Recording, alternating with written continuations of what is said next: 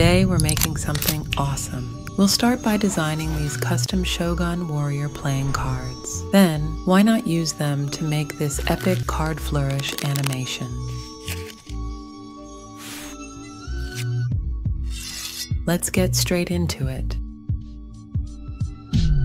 Open Canva and create a new design. Playing cards are usually designed in a 3 by 2 aspect ratio. So let's create a custom size design at 750 by 1050 pixels. Now let's start with the background. Open the Photos tab and search for Watercolor Paper White background. Select this one and enlarge it to match the size of the canvas. With the image selected, open the border style panel and give it a 3 pixel border weight. Then, in the corner rounding section, set the border radius to 35. Open the Elements tab and search for Floral Corners. Select this one and place it in the bottom left corner of the canvas. Use the arrow keys on your keyboard to nudge the element 20 pixels up and then 20 pixels to the right.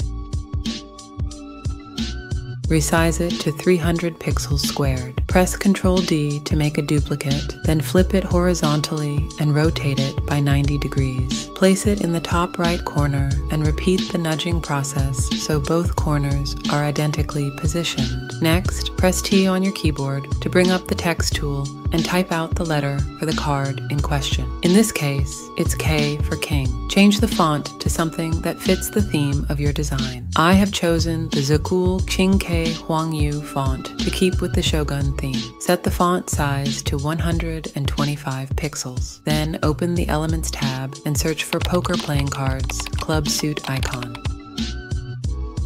Search for the two-tone one and place it on the canvas. Click See All under the Magic Recommendations. Link to access similar icons for later. Click on the icon, and as you can see, we can alter the coloring of the two sections. Select one side and change it to a color of your choice.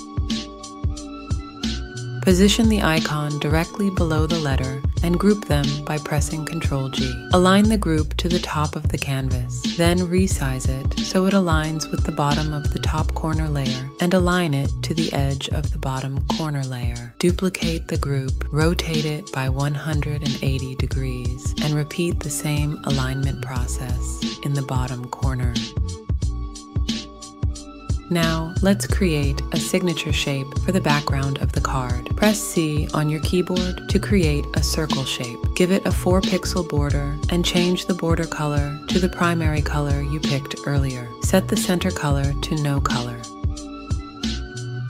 Next, press L on your keyboard to create a line shape. Change the border weight to 6 pixels. Update the color and create a duplicate positioned directly below it. Select both lines and rotate them by 18 degrees. Then select all shapes and group them together. Now it's time to generate our Shogun characters with AI. Open the Apps section and search for the Magic Media app. Under the Styles section, scroll to the bottom and select the paper cut style. Change the aspect ratio to portrait, and now we are ready prompt. Something like Design a king of club shogun ruler with a majestic beard, wearing ornate samurai armor and a helmet. He holds a katana or war fan, standing confidently, symbolizing authority and military strength. Black and gold clothing should generate some interesting results. As usual, you may need to repeat the generation process if you don't initially find your desired character. When you find one you like, add it to the canvas. With the image selected, choose the background remover tool. As you can see, some elements of the image may become lost in the background, so let's fix that. With the image selected, open the Edit panel and select the Shadows effect. Select the drop shadow style, and to keep things subtle, set the angle to 50, the distance to 20, and the intensity to 25. Now repeat this process for all of the character cards in the deck. I'll leave some example prompts in the description for you to experiment with. Here are the characters I made earlier. Next, let's create a seamless pattern for the front side of the card. Open the app section and search for the patterned AI app. As you can see, the app has a similar interface to the Magic Media app. Select the tribal style. The prompt should be something like create a seamless pattern with shogun inspired elements, including samurai helmets, katana swords, and stylized waves, black and gold color. You can sign up to get 20 free credits, which should be more than enough. When you generate one you like, adjust the zoom setting, then create a new page and select Add as Background. Now, let's take a second to appreciate how awesome this tool is. Set the corner rounding to 35 change the border weight to 15 and change the border color to white. Once you are happy with all card designs, go ahead and export all of them as PNG files with a transparent background. Now let's move on to creating an animated card flourish. Create a new design in a 16 by 9 video crop. First, let's add a textured video background. Open the video library and search for grunge paper texture background. Select this one and place it on the edge of the canvas so it snaps into the background position. Open the Elements tab and search for Playing Card Ornate. Place a few of the elements around the edges of the canvas. Update the colors and reduce the transparency so they blend into the background. Next, let's import four of the playing cards and stack them on top of each other like so. Decrease the page duration to 4 seconds, then duplicate it. Reposition and increase the card size, then rotate the top card by 40 degrees. Rotate the second card to 20 degrees, leave the next card at 0, and rotate the fourth card by minus 20 degrees, creating a 20 degree rotation between each card. Now, align each inside corner to the top center of the preceding card.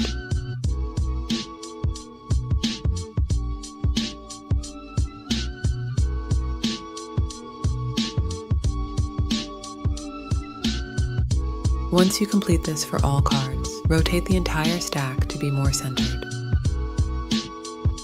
Next, duplicate the page, rotate all cards back to 0 degrees, then resize and align them like so.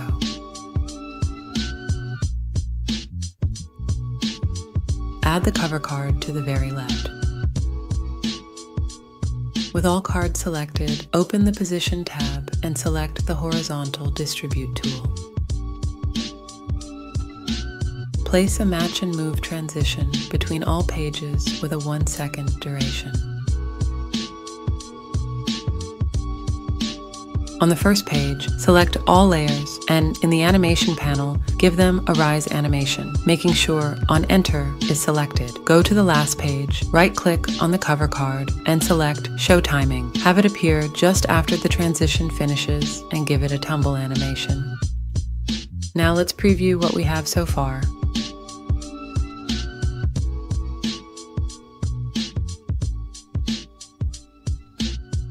Nice. Let's add some sound design to spruce things up. Open the Audio tab, filter for sound effects, and search for Card Shuffle 6. Place it near the start of the timeline so it matches up with the opening animation. Next, search for Riffle.